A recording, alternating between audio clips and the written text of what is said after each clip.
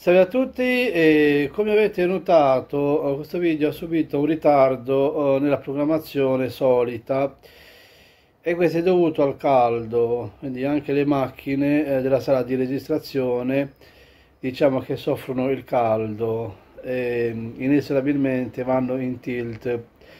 Bene, parliamo eh, del tema del seme della parola di Dio.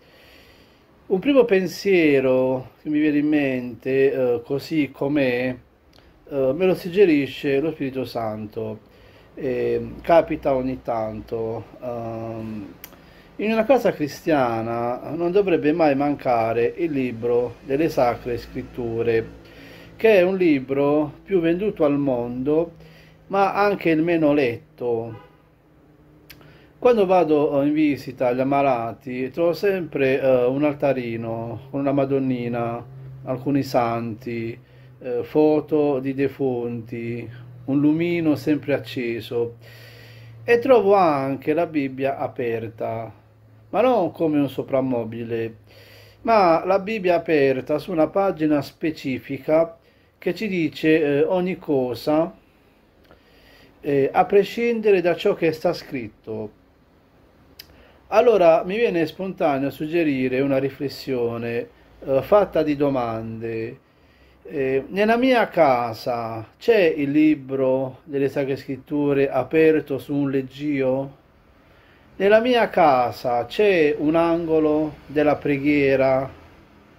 Eh, nella mia casa ho la possibilità eh, di trovare lo spazio temporale per leggere la Sacra Scrittura?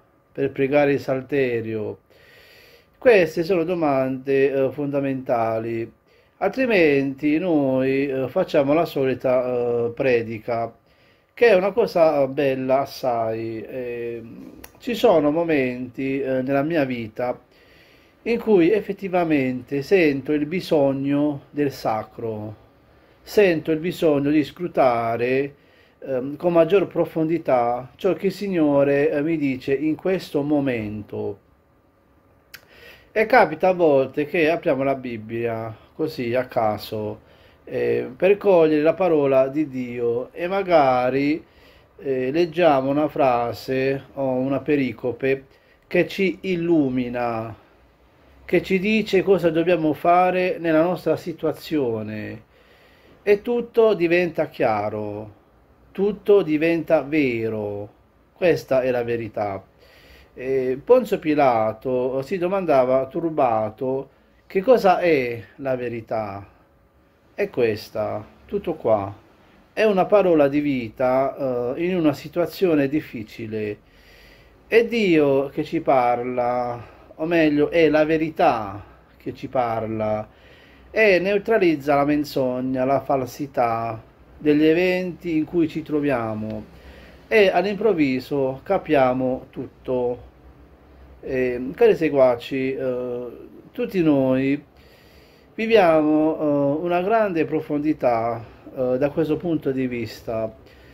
Conosco la Sacra Scrittura, non solo, riesco e riusciamo a trasmettere l'immagine tipo che traspare dalla Sacra Scrittura su questo punto io e i miei collaboratori lavoriamo moltissimo e con grandi risultati e soddisfazioni.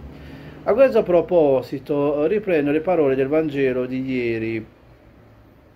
La parola ci parla di un seme, o meglio di tanti semi, eh, gettati dappertutto. Eh, oserei dire che il Signore è generoso. Se voi vedete i campi incolti, Uh, vedrete piante selvatiche e piante infestanti che nascono dappertutto, persino nelle crepe dell'asfalto o tra le fugature dei mattoni.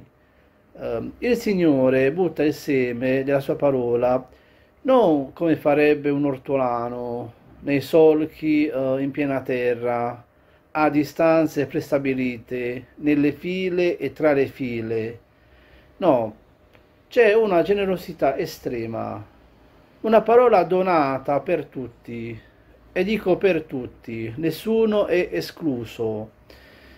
L'immagine della parabola parla di vari terreni, parla di un terreno sassoso, di un terreno spinoso, eh, di un terreno esposto al sole, eh, parla di un terreno calpestato dagli uomini, un terreno durissimo da penetrare.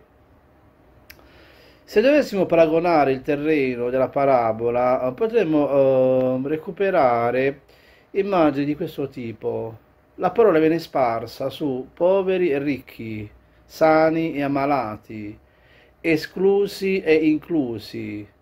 Eh, su tutti viene gettata la parola di Dio. E Gesù da questo punto di vista non ha alcuna preferenza, eh, ma chiede a ognuno di noi di interagire con quel seme, con la parola, trasmettendo la parola soprattutto con i fatti, e non solo, eh, ci chiede di far crescere quel seme nella nostra vita. Questo è il significato della parabola. C'è un 100, un 60, c'è un 30. Attenzione, questi non sono voti di un esame universitario, tutti sono premiati. Attenzione a non mettere in bocca a Gesù parole eh, che sono più nostre. Gesù dona, e su questo tema ci sono parabole simili, eh, per esempio la parabola eh, dei talenti, 5 volte tanto, 10 volte tanto, e poi c'è il caso di un solo talento. Allora cosa facciamo a volte? Per paura di investire il talento, lo abbiamo sepolto. Gesù che dice, scellerato, potevi eh, almeno darlo a un banchiere eh, qualche interesse lo avrebbe almeno ottenuto. Il problema di Dio non è un problema di tipo matematico o di quantità di cose da fare. Tutti alla fine sono premiati per le loro azioni buone, nella misura del possibile. Faccio l'esempio nella preghiera. In questo periodo è difficile pregare, fa caldo. Eh, San Giovanni Bosco diceva che l'estate è la vendemmia del diavolo. Um, ci sono molte distrazioni, uh, ci sono molte malizie, um, ci sono tante cose e, e, siamo poco concentrati. Ma se nel cuore della notte, prima che sorge l'alba, uh, io mi sveglio sempre alle 4 del mattino, eh, che è ancora buio, bene, appena uh, si è alzati, diciamo, Gesù lode e onore a te. Grazie per la vita che mi dai. Grazie perché mi dai sempre occasioni per amare, per amare qualcuno o qualcosa. Bene, se lo diciamo col cuore, il Padre Eterno si commuove a sentire queste preghiere, eh, non una preghiera detta a memoria, come una filastrocca che non finisce mai, eh, di cui non sappiamo neanche il significato delle parole che pronunciamo. Eh, cari amici e cari amiche, per Dio non ci sono eh, buoni e eh, cattivi. In primo piano c'è la misericordia. Dio ha compassione anche del peccatore, eh, non anche, soprattutto del peccatore. Se in questo mondo c'è tanta cattiveria, eh, resta quell'amore che ognuno di noi ha saputo trasmettere. E io rimango sconcertato quando uomini di chiesa si riducono uh, a terreni sassosi, a terreni pieni di spine, a terreni durissimi, dove anche la parola di Dio uh, non riesce a penetrare. Eh, perché questo succede? Eh, perché queste persone uh, di Gesù hanno semplicemente una infarinatura, un sentito dire, l'ABC di alcune nozioni. Uh, davanti a tutte queste pietà popolari dove io mi inchino e chi non può inchinarsi nella casa di Dio, bene, la fede è un'altra cosa, la fede è un'altra cosa. E quindi proviamo a cercare l'essenziale e l'essenziale ce lo abbiamo non chissà dove. Uh, il Deuteronomio dice non è troppo in alto né troppo in basso né troppo lontano, è dentro il tuo cuore, dentro il tuo cuore. E ancora Sant'Agostino dice, entra dentro di me bellezza antica, uh, ti cercavo ovunque e tu eri dentro di me. Ecco perché bisogna accogliere il seme della parola di Dio e farla germinare, farla germinare. E con questo video è tutto e un arrivederci al prossimo video.